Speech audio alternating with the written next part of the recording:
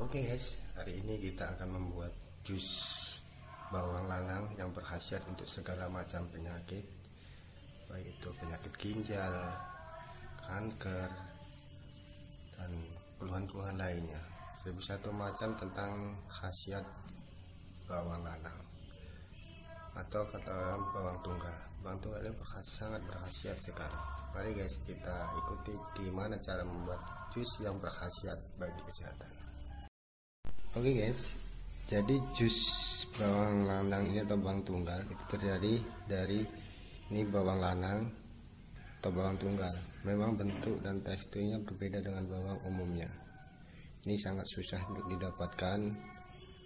Jadi memang khasiatnya sangat berbeda. Dari tingkat kepedasan ini pun berbeda. Jadi bawang lanang itu terdiri dari 11 butir bawang lanang kemudian ada jeruk nipis. Ini jeruk nipis ini tiga biji tiga butir atau tiga buah. Kemudian ini guys ini bawang bombay. Bawang bombay nanti akan kita bikin jus ini yang akan kita minum setiap hari insya Allah berkhasiat bagi kesehatan kita baik yang menderita penyakit maupun yang sehat itu sebagai pencegahan sebagai stamina untuk meneri penyakit-penyakit yang menyerang kita.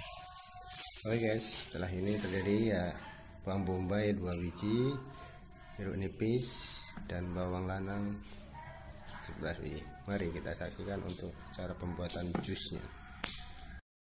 Oke okay guys, inilah tadi bawang lanang atau bawang tunggal, bawang bombay dan jeruk nipis. Kita potong-potong kecil-kecil untuk segera kita bikin jus di blender. Oh iya, untuk jeruk nipisnya ini jadi nggak perlu dikupas, tinggal kita belah-belah semua dari kulitnya, bijinya semua kita jadiin satu ke dalam jus. Nah, ini bawang bombay yang sudah kita potong-potong dadu untuk mempermudah pembuatan jus ini bawang lanang yang sudah kita belah-belah juga supaya kita mempermudah untuk di blender oke setelah ini proses selanjutnya adalah membuat jus dengan cara di blender. Proses selanjutnya kita masukkan semua campuran tiga macam bahan herbal ini ke dalam blender. Proses pembuatan jus bawang lanang ini guys sudah kita masukkan ke dalam blender kita akan lakukan proses pemblenderan. Oh ya sebelumnya perlu kita tambah air minum atau air masak supaya untuk mempermudah proses pemblenderan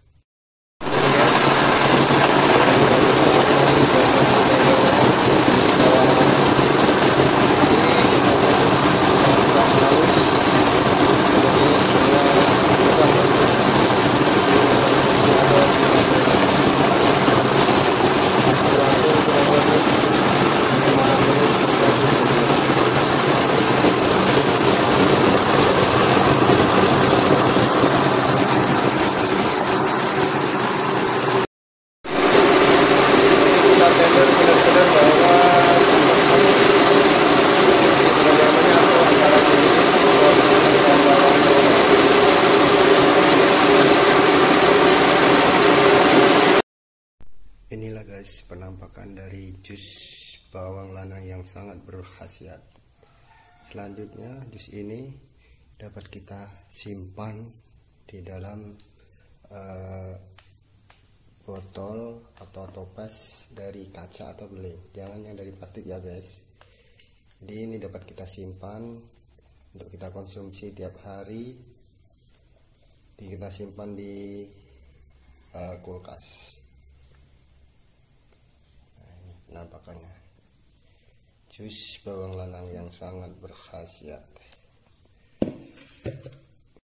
Oke okay guys. Inilah jus bawang lanang yang dapat kita konsumsi baik untuk pencegahan maupun pengobatan berbagai macam penyakit.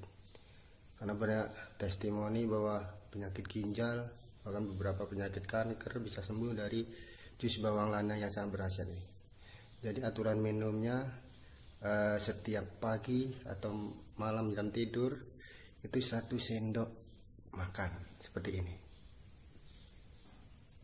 Nah kita minum sebaiknya pagi-pagi sebelum kita minum atau makan apa pun. Jadi ketika perut kosong kita ini sangat berkhasiat. Akan tetapi bagi yang punya mengidap penyakit mah ya harap diisi dulu perutnya karena ini ada uh, dari jeruk nipisnya ini akan uh, ada efek pedih apabila kita ada gangguan pada lambung kita. Jadi memang aroma tidak enak saudara-saudara guys semua. Tapi ini sangat berkhasiat. Ini sangat herbal dan tidak mengandung bahan kimia apa pun. Jadi kita minum ini satu sendok makan setiap hari pagi dan petang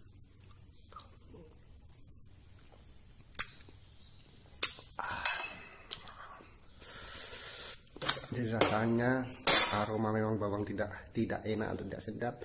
Ada asam-asam dari dari uh, jeruk nipisnya dan ah, luar biasa. Efek di perut memang awalnya seperti diremas sama kulit kita tapi selanjutnya akan kita teruskan makan terus. Insya Allah nanti akan terbiasa. Oke okay guys selamat mencoba. Semoga sehat. Kita terjauh dari hindar. Dan ternyata obat bisa kita dapat dari bumbu dapur aja yang kita ada setiap hari. Selamat pagi selamat beraktivitas. Semoga sehat sepanjang masa